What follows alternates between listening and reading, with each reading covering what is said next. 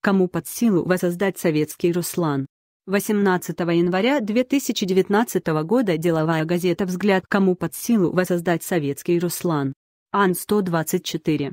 Источник изображения – Сергей Старостенко, РИА Новости, Евромайдан разрушил авиационную кооперацию России и Украины.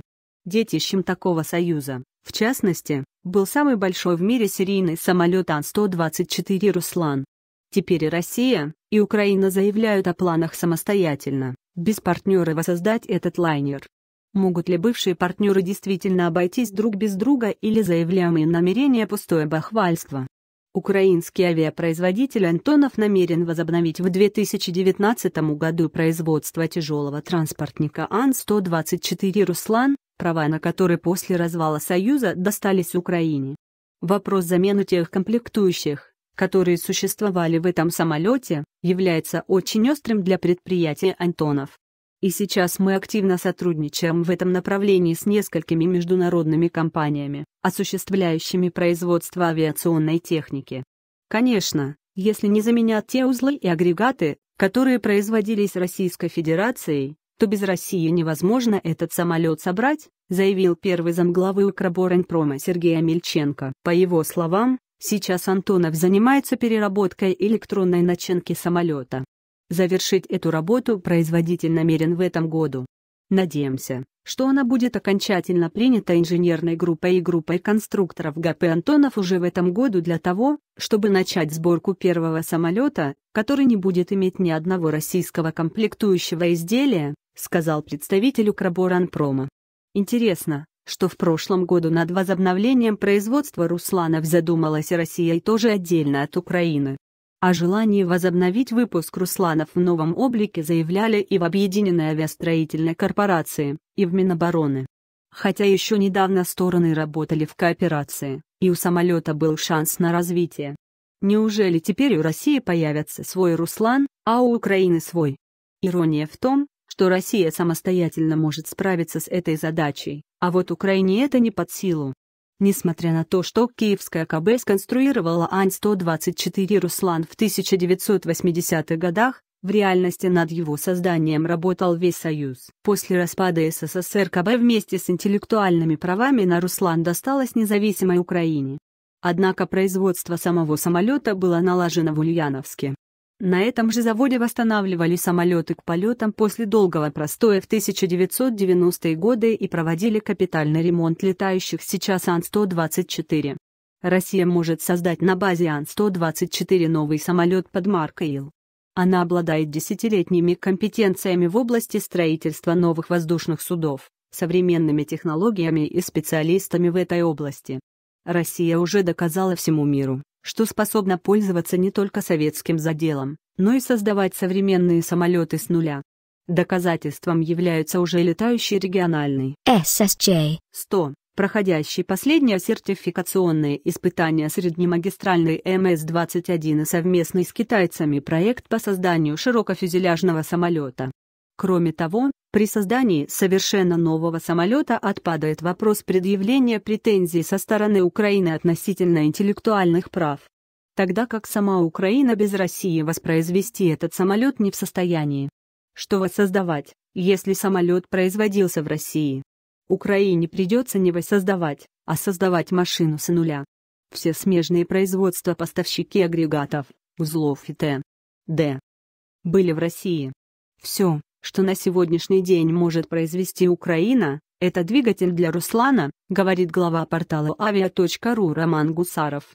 Есть три ключевых фактора, которые объясняют, почему заявления Укрбаранпрома по поводу воссоздания Украины производства Русланов ничего не стоят.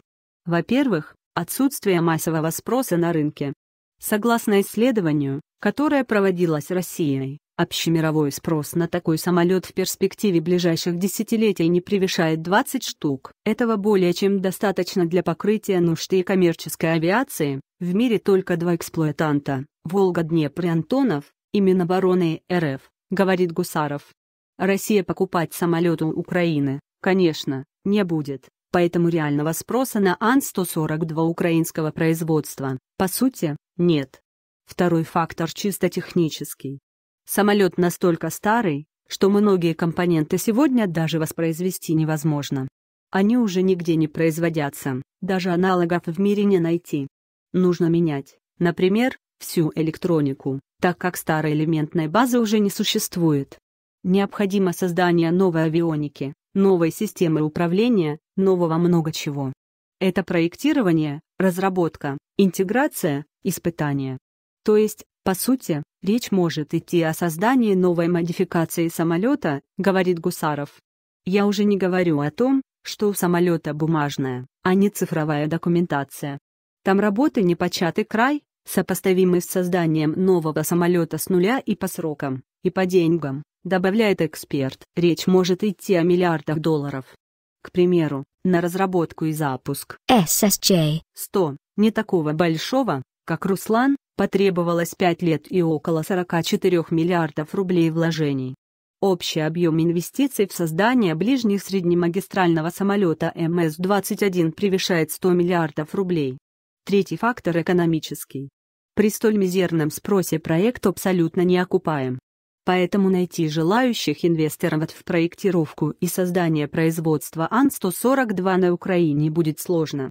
Украинское правительство оплатить этот праздник жизни однозначно не в состоянии. Даже российское правительство не видит смысла вкладывать в это деньги. А иностранцам то это зачем? Зачем, например, американцам финансировать этот украинский проект? Если им нужен такой самолет, они профинансируют работу собственных компаний по его созданию, говорит Роман Гусаров. До сих пор в мире никто больше не реализовал такой проект большого транспортного самолета, в том числе западные лидеры авиастроения. Boeing Или Airbus не потому, что они технологически не могут, а потому, что они не видят в этом никакой экономической целесообразности.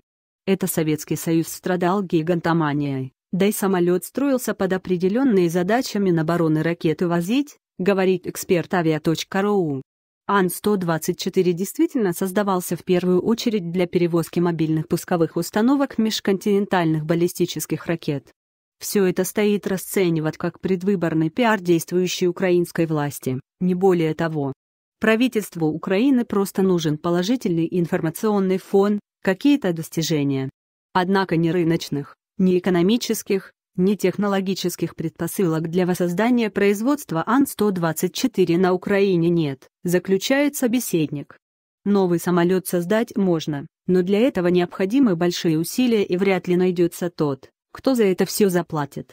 Россия в перспективе еще готова создать на базе Руслана новый самолет, но не в ближайшее десятилетие, пока хватает тех самолетов, которые есть, считает Гусаров. Таким образом, в реальности не стоит ждать нового самолета на базе Руслана ни от Украины, ни от России. Перед российским гражданским авиапромом сейчас стоят куда более важные задачи в частности, поставить на крыло МС-21 с пермскими двигателями и работать над российско-китайским проектом широкофюзеляжного самолета. CR-929 Будущее украинского авиапрома довольно печальная распродажа остатков советского наследия и постепенное захерение. Ольга Самофало 18 января 2019 года права на данный материал принадлежат деловая газета «Взгляд» материал размещен правообладателем в открытом доступе.